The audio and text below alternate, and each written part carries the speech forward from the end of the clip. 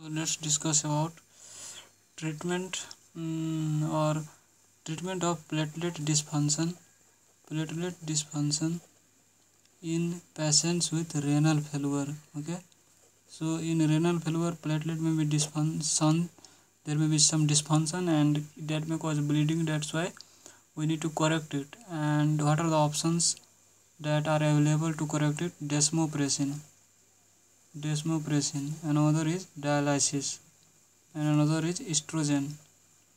Other is cryoprecipitate infusion. Okay? So these things these four things we can do for correction of bleeding in patients with platelet dysfunction. And among them desmopressin is the least toxic and most effective method. And what is the mechanism of action of desmopressin it increases uh, release of factor 8 von Willebrand factor multimers from endothelium okay? And uh, cryoprecipitate infusion is associated with infectious complications. That's why its use is limited to patients who are not responding to blood transfusion and desmopressin.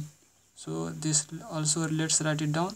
Cryoprecipitate is associated with infectious complications. Infectious complications. So its use is uh, limited to patients who are not responding to blood transfusion and desmopressin